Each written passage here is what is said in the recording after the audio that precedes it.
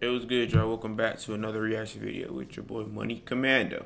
Today we got Famous Dex career is basically dead. Here's why. So basically they're gonna break down how Famous Dex fell off. Let's get into it. First started blowing up in 2017, he never knew the timeline of events that would unfortunately happen only a few years later. One moment he was at the top of the game, but soon everything went wrong and his relevance in hip hop drastically declined. So today, we're gonna provide a full explanation of why things took a turn for the worse. And it all started with an incident that was captured on a security yeah, camera. I really wonder how did this nigga fall off? I know he got that one song. I forgot how that shit go though. But I guess he gonna play it. It's your boy Luesta, and if you My guys like weekly video documentaries like this one, don't forget to subscribe. I got you, Swin. It's the year 2015, and a new rapper named Famous Dex is suddenly hitting everyone's radar. Standout hits like Hoes Mad, Copyright, copyright, copyright. We're not trying to get I copyright. broke out tears. I say, God, here we come. Here we come. And once I heard, and once I heard it on the radio, I'm like, it's no, it's no joke no more. I can really change my family life. I can change my life. Let's do it. Within just one year, Dex went from being a nobody who had multiple arrests ranging from robbery, burglary, cannabis possession, and more, to an artist with massive star power potential who can sell Oh. records for a living rather than what he used to sell. so the nigga used to be an underground rapper. Then he blew up all of a sudden.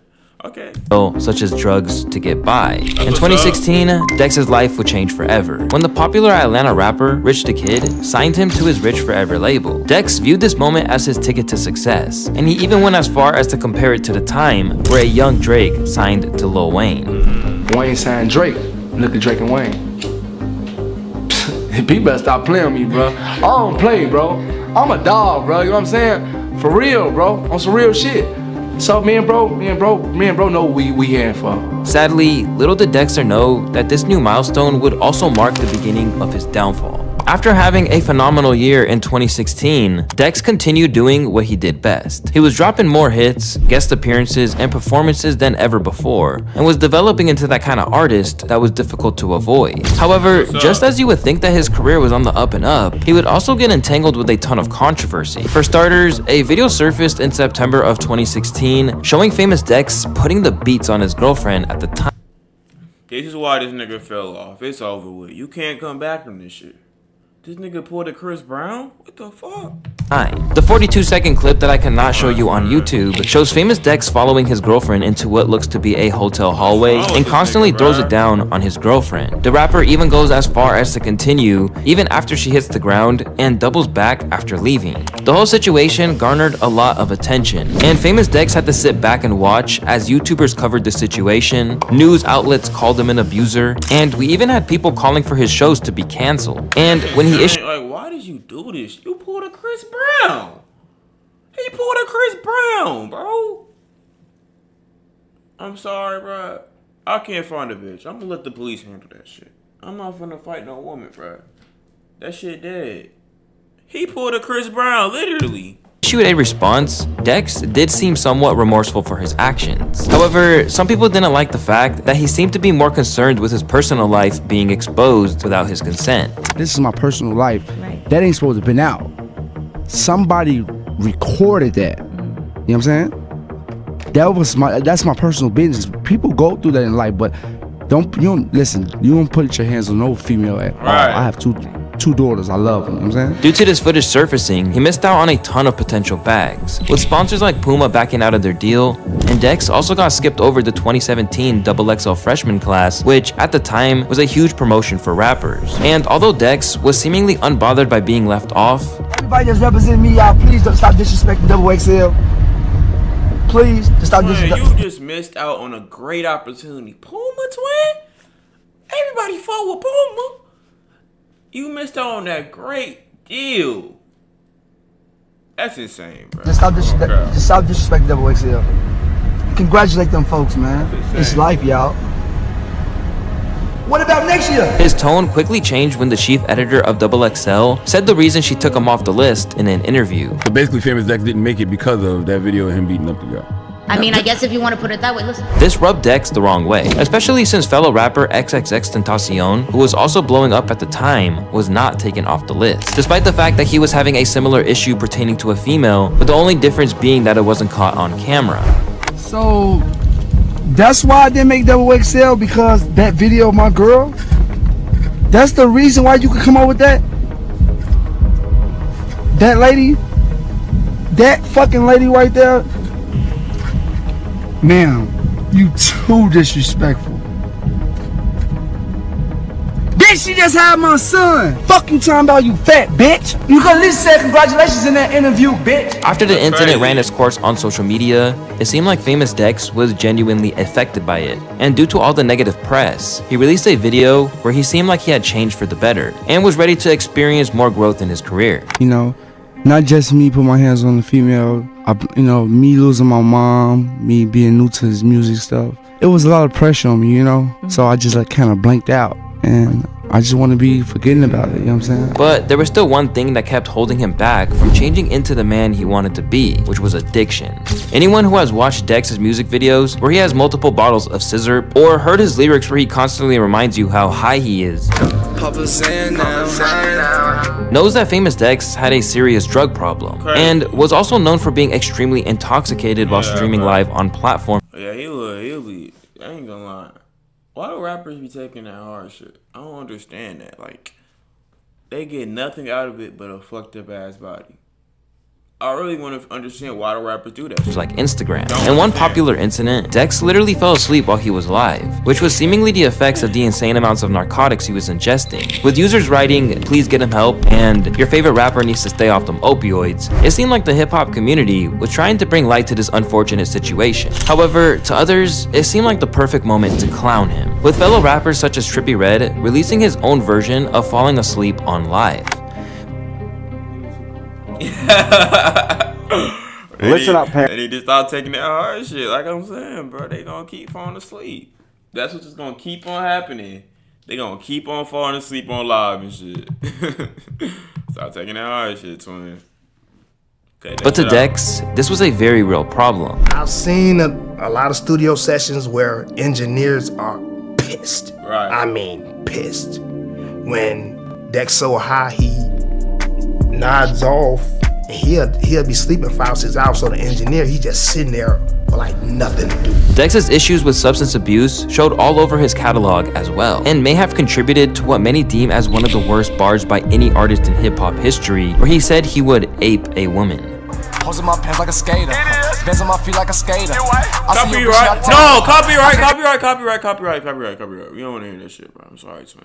You're not going to get me copyrighted. Luista, I don't know how you get these songs and get those ads rolling, but cut that out. You won't get me copyrighted. I mean, I'm a human being, and I work my ass off, but don't let the world trick you and be fooled. I always know, cause only you know you, not not my manager, not anybody. You know you.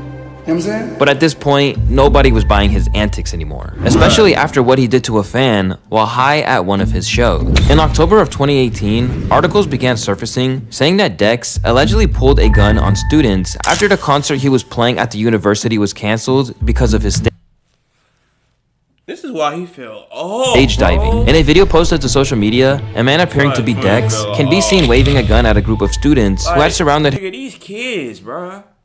These kids. I see why he fell off. This is why he fell off. Why are you doing this? his car following the canceled show on Friday night. Despite all of the problems and drama, Famous Dex still kept his head up, and one can argue that in the midst of all the controversy, he was still putting out quality music. His songs Japan and Pick It Up featuring ASAP Rocky were making waves throughout the genre in 2018, and combined for nearly 150 million views together That's on crazy. YouTube. However, the success he was receiving only seemed to do more harm than good. For one, it seemingly began to inflate his ego, which wasn't good, especially considering it would only accelerate when he would get loaded off of substances. This led to him doing things like airing out his boss, Rich the Kid, on Instagram Live, and discussing topics that were most likely better to be communicated privately. Not rich forever. I am signed to 300. Rich the kid, selfish ass is trying to sell Rich Forever 4. You're not trying to get me and Jay Critch shit. You don't do shit for me and Jay Critch.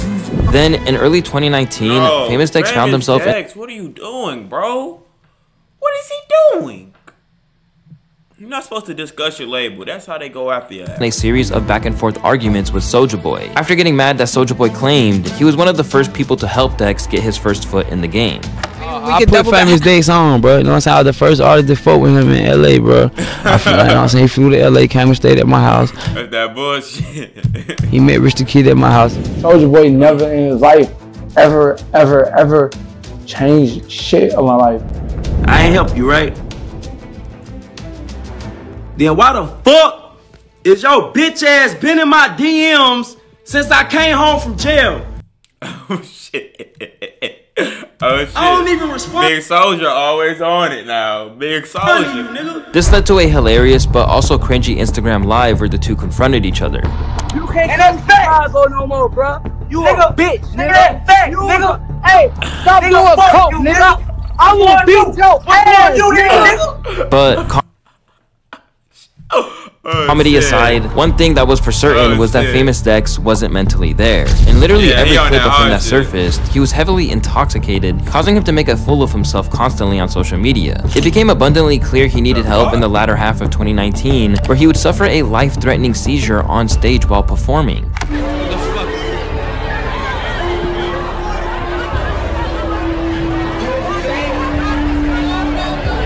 This incident got a lot of people concerned about him, and you would think that somebody in his camp would urge him to take a break and get better. Instead, he returned nearly a year later to drop his album titled Diana, which only led him to fall deeper into a downward spiral, as the project would become a massive flop and only sell 4,000 copies in its first week. This was kinda sad since the album was also named after his late mother, who passed away from breast cancer a few years back. But instead of taking it to the chin and getting back into the lab, Dex couldn't get out of his own way. After the record came out, he got himself arrested three times between October and November of 2020 for domestic violence and un- Bro, bro, twin, bro.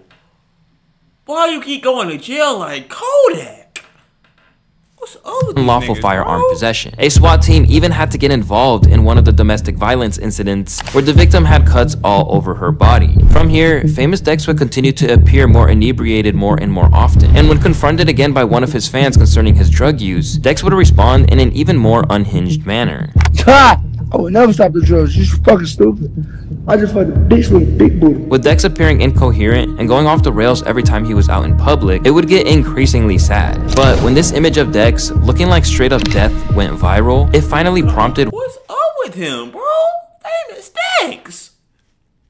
I ain't. This is why I don't listen to Famous Dex in the first place. This is never. This is the main reason. why. widespread concern from everyone in hip hop, including fellow rapper NLE Choppa, who is urging his label to do something about it. Y'all see Famous Dex obviously on drugs too heavy. Can y'all at least try surrounding that man around somebody with his best interest? Help dude out. Or somebody already in his ear, uplift dude. He needing it. Which at first Dex appreciated, but it eventually got to the point where he was sick of everyone worrying about him and decided to go off on everyone, especially DJ Akademiks, who was the first to blow the whistle on Famous Dex's fragile state. Don't nobody say, oh, congratulations when, when I went certified gold for my album.